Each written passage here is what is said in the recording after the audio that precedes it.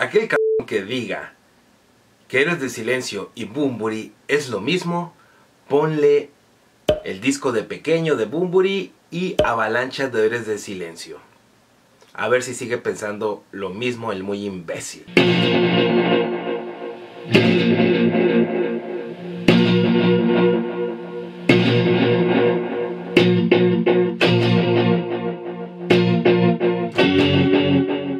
Amigos, yo soy el Maldad, acabo de terminar de ver el documental de Héroes de Silencio llamado Héroes, Silencio y Rock and Roll. Pues les voy a dar mi review, ¿no? Mi opinión a grandes rasgos de este documental que dura una hora y media. Acaba de ser estrenado a las 0 horas del 23 de abril del 2021 y fue dirigido por Alexis Morante, un cineasta eh, que ya había trabajado anteriormente con Enrique Bumburi y pues hizo este documental, ¿no? Primero tengo que decirles que el documental está hecho obviamente pues para fans, para conocer la historia oficial de Héroes del Silencio. Muchos dicen que es el mejor grupo o el grupo más grande que ha salido de España eh, al mundo, que tuvo muchísimo éxito con tan solo cuatro discos de estudio, ¿no? El Mar no Senderos de Traición, El Espíritu del Vino y Avalancha. Y conforme vas escuchando cada disco, te das cuenta cómo fueron incrementando su dureza y pues encaminándose más hacia un rock más pesado. El primer disco, El, Mar no cesa, pues se escucha un poquito más eh, a esa ola de New Wave como, en el, como rock pop. El segundo, Senderos de Traición, ya traían un poco lo que era el hard rock eh, que podría recordar tal vez como bandas de, de cult, podría ser. El espíritu del vino pues seguía siendo la esencia de de Silencio, pero un poquito más experimental. Bueno, en esencia las letras seguían siendo más o menos igual, pero ya tenían como ganas de experimentar, ¿no? Y ya para el disco Avalancha pues ya era un rock más sólido, pero pues este documental nos deja ver eh, la historia detrás de esos discos, las giras caóticas, las relaciones humanas del grupo, muchas cosas que nosotros eh, pues no sabíamos de la, de la banda. en los 90 había un gran mito sobre Héroes de Silencio de que eran bien mamones frente a los periodistas. Que se iban a presentarse en una disco de reforma, Jesús Alberto. Pues yo una disco de reforma. Una, ¿Cómo se llama ese disco de reforma? No, sé. Es que si no, no. ¿Cuál Rockstock. Ah, el Rockstock, sí. Sí. ¿Ahí se van a presentar? Sí. Perfecto.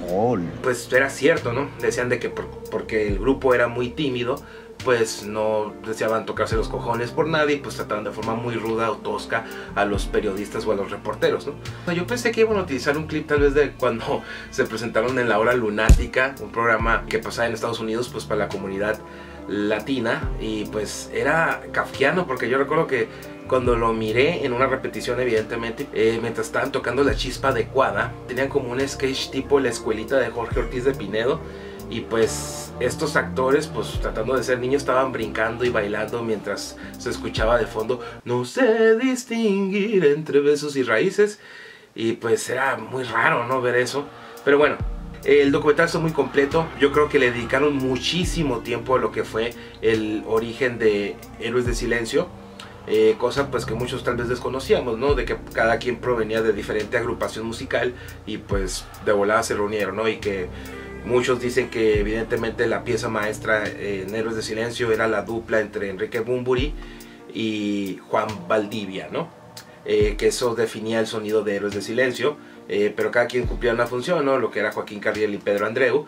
Y pues ya para el disco Espíritu del Vino, pues se integró Alan Boglaski, un mexicano. Y pues les digo, le dedicaron cada tiempo como debería ser. Eh, obviamente les digo que se centran más, evidentemente, pues en el inicio de Héroes de Silencio, que fue en el, en el 84, 85. Ahí fue como fue creciendo el, grupo, ¿no? Y se mira, pues evidentemente en sus caras, ¿no? De que pues, estaban muy chiquillos cuando empezaron eh, a tocar juntos Enrique Bumbur y Juan Valdivia y que fueron cambiando miembros hasta que se consolidó la mítica alineación de Héroes de Silencio. Dedicaron mucho tiempo, pues como del 84 hasta el 89, eh, pues del crecimiento de la banda, pues como que lo coordinaron bien y después te das cuenta que eh, pues en el 90 fue cuando publicaron Senderos de Traición, El Espíritu del Vino lo publicaron en el 93, si mal no recuerdo, y ya para el 95 publicaron Avalancha, ¿no? Y pues después sacaron un montón de discos, recopilaciones y toda la cosa como para cumplir con el contrato, ¿no? En lo que no me agradó del documental fue que dejaron de lado ciertos detalles muy importantes, ¿no? Oye, los fans conocemos esos datos, ¿no? Y que no lo hayan puesto en este documental que supuestamente es para fans. Y pues digo, yo lo sentí como que era para fans, ¿no? Tiene un lenguaje cinematográfico muy bueno a pesar de ser documental, que había espacios muy buenas tomas así del desierto, a las afueras de Zaragoza y toda la cosa. Eh, por ejemplo, la separación de 10 años lo manejaron muy bien y pusieron eh, de audios, ¿no? Lo que decían los medios de comunicación. Eso me pareció excelente, pero dejaron de lado que cuando se reunieron en 2007, pues qué pasó con Alan Bulgaskin. Él no participó en la reunión. ¿Por qué los sacaron de tajo de este documental? Bueno, él se sentía muy dolido, ¿no? De que no lo hayan invitado directamente y que se enteró pues por el video comunicado que fue lanzado en YouTube. Y él mencionó que recibió un correo por parte de Enrique Bumburi diciendo que a él le hubiera gustado que hubiera participado en la gira, pero que fue una de las condiciones que puso Juan Valdivia, el que estuviera su hermano Gonzalo, si mal no recuerdo ese era su nombre, como el guitarra rítmica, ¿no? Eh, tal vez para cumplirle un sueño a su hermano. Eso me pareció hasta cierto punto como una grosería, una mentada de madre, pues para los que son fans del grupo y pues que no le hayan concedido tan siquiera a Alan Bodlaski la colaboración en algunas canciones, pero sí a Phil Manzanera, pues su productor de Senderos de Traición y Espíritu del Vino, pues dices, ¿por qué él sí? ¿Por qué no Alan? Pues se me hizo una falta de respeto pues para un miembro de Héroes del Silencio y les digo, me da cuenta para los fans, ¿no? Que no tuvieran ni siquiera ese detalle. Y otra cosa muy importante, pues que sí se tocó fue de que eh, Juan Valdivia ya estaba padeciendo de una enfermedad de las manos y no tocaron el punto en que se operó varias veces, creo que fue en Francia, y pues hasta que se recuperó, ¿no? Poco a poco ya pudo agarrar bien la guitarra. Entonces creo que esos detalles que les acabo de mencionar, eh, pues son muy importantes y los dejaron de fuera del documental, ¿no? Eh, posteriormente pues ya habían declarado los mismos héroes Joaquín Cardiel, Juan Valdivia y, Pedro Andreu que ellos pues sí están dispuestos a volver a tocar juntos, ¿no? Pero pues Bumblebee ni sus luces. Es evidente por qué, ¿no? Él no quiere regresar de nueva cuenta al pasado, pero sí puede alterar las canciones clásicas de Héroes de Silencio en sus giras. Eh, que a mí no me gustan las versiones que toca por parte de Héroes. Creo que la mejor lograda fue la chispa adecuada que era puro piano. Pero no me gustó lo que hizo con Deshacer el Mundo en la gira de Palo Santo. No me gustó tampoco lo que hizo con Iberia Sumergida. Pero bueno, pues ahí está, ¿no? Entonces les digo, el documental es bueno, sí es entretenido, sí. Juan Valdivia parecía muy, muy deprimido, ¿no? Dijo, quizás hubiéramos hecho una gran historia si, si hubiéramos descansado y hubiéramos grabado 15 discos, pero no.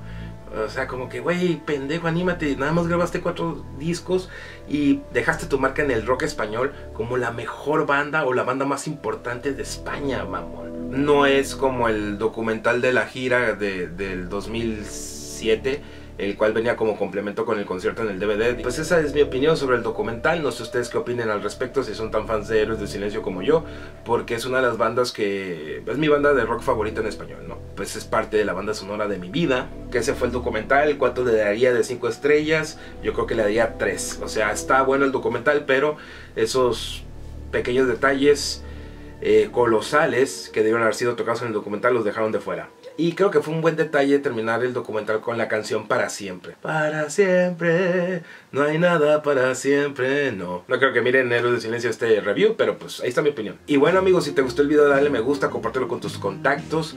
Puedes seguirme en las redes sociales en las cuales tengo cuenta. Van a estar apareciendo en la descripción del video. Puedes apoyarme de forma monetaria si gustas hacerlo por medio de Patreon. Y pues nos vemos en el siguiente video. Una de mis favoritos de héroes.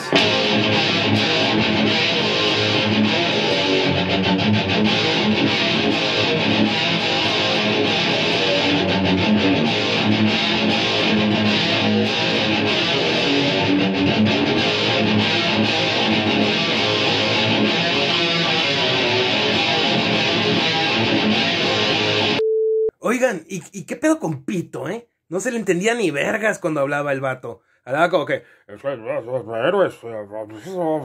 O sea, ¿qué pedo? Hablaba como ese oso de tierra de osos de... Pinche Pito a la madre.